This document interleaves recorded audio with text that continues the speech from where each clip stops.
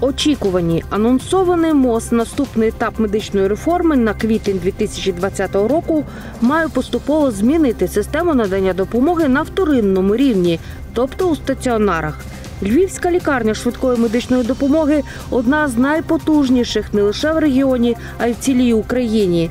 Які зміни зазнається ланка охорони здоров'я? Говоримо з провідним нейрохірургом Львівщини, завідувачем нейрохірургічного відділення лікарні швидкої допомоги Андрієм Токарським.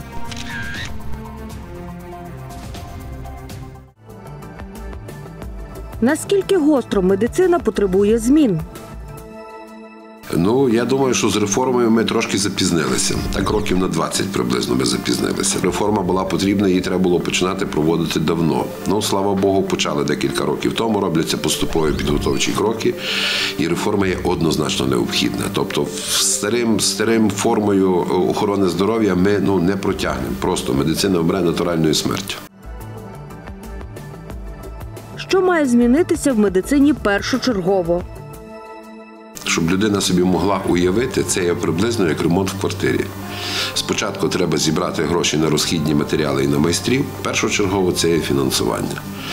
Якщо не буде фінансування, реформа не виживе, тобто вона не буде такою, якою би її хотіли бачити наші пацієнти. Не критикувати то, що робиться, тому що в нас в основному як критикують, і ніхто сам нічого не робить і не пропонує якихось варіантів розвитку. І наступна річ це все-таки включитися в неї і почати працювати, тобто переформатувати своє сприйняття охорони здоров'я на нові рельси. Якщо хто цього не зрозуміє, це і в результаті ну випаде за борт корабля і не попливе далі. Що зміниться в лікарні швидкої медичної допомоги найближчим часом?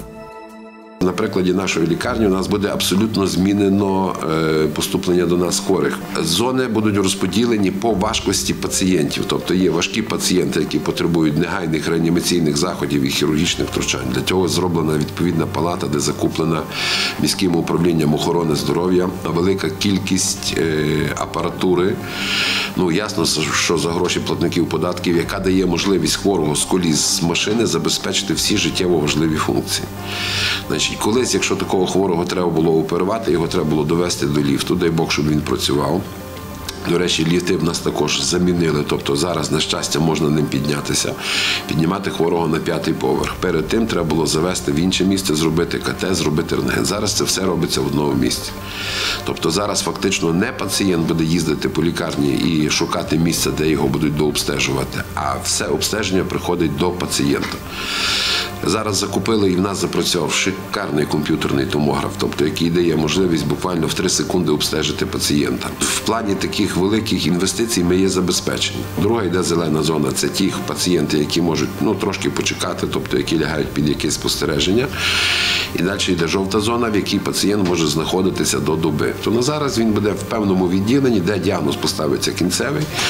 Основна домінуюча патологія, яка у хворого є, по тій патології хворий буде госпіталізований туди, куди є необхідно. Тобто ці зони вони нам дуже пришвидшують і допомагають в діагностиці. Буде розділений потік відвідувачів і планових хворих від ургентних хворих. Тобто це будуть зовсім інші зони входу в лікарню і буде набагато менше людей, тобто це буде спростить роботу. Що варто змінити в роботі персоналу?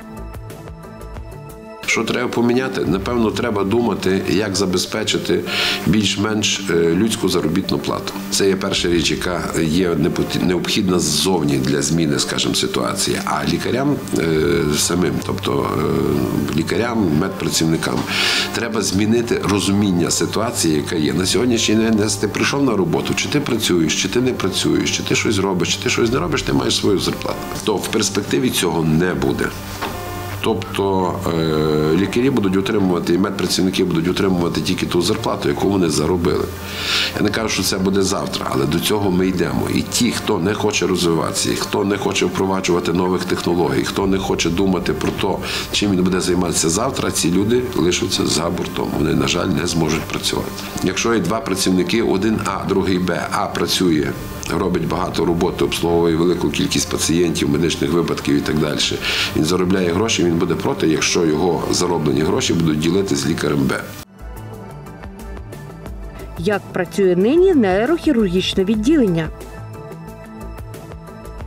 Наше відділення це ну таке унікальне відділення. Значить, з не з Львівської області в нас є приблизно.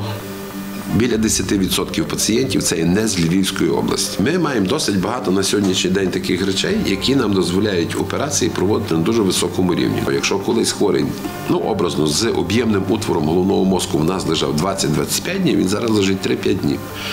Тобто, ми, якщо колись лікували 500 хворих за рік, ми зараз лікуємо 1500 хворих за рік. У нас там 1800 виходить. Ми операції 1300 робимо в рік, що колись зробили 200. Тобто в нас за рахунок цієї інтенсифікації і нам закупили трипан, нам закупили мікроскоп, нам закупили навігатор, нам закупили, нам закупили управління міське, закупило нам дуже багато речей, які пришвидшують ці операції. І нам і термін операції пришвидшився, і якість операції покращився. Тобто дуже багато помінялося. Я думаю, що ми будемо завантажені. Я думаю, що ми будемо завантажені. Ну, а не будемо завантажені, це природний добір. Значить, хтось працює краще, ніж ми. Значить, це є стимул для того, щоб себе підтягувати. Чи виправдана так звана оптимізація лікарень?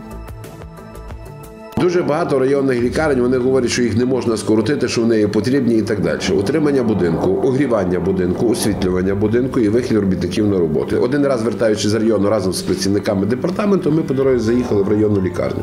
І зайшли в одне з відділень, рішили подивитися, як маються справи, бо показники по відділенню дуже добрі. Чергова сестричка сказала, що у відділенні лікується 40 пацієнтів. Ми нарахували 6 присутніх пацієнтів у відділенні, а на решта пацієнтів йдуть гроші огріваються приміщення і так далі. Дешевше такі лікарні закрити, купити транспорт і привозити хворих в ті місця, де їм можна дати допомогу і сконцентрувати їх в одному місці, де фактично будуть лежати люди, котрі потребують медичної допомоги. Що очікує медичну галузь, якщо реформа зупиниться? Найгірший сценарій лікарні позакриваються, лікарі перейдуть в приватний сектор. Ну, лікарі, медпрацівники перейдуть абсолютно в приватний сектор і будуть чисто на так, як всі, на ФОПах, без чеків, без квітанцій, будуть обслуговувати за чорний нал. Я не хотів би такий чорний сценарій малювати. Я думаю, що все-таки буде е, позитивне рішення цього питання, і, і ми вийдемо з тої ситуації і переживемо реформу. Переживемо реформу не в плані переживемо і вона собі десь там згине, а усвідомимо її і втілимо в життя. І що все-таки ми дійдемо до того, що покоління, яке йде за нами, буде працювати в більш-менш нормальних умовах, в чесних. Тобто не буде заглядати пацієнту в очі. І буде, скажімо так, буде, буде відчувати гордість за свою роботу.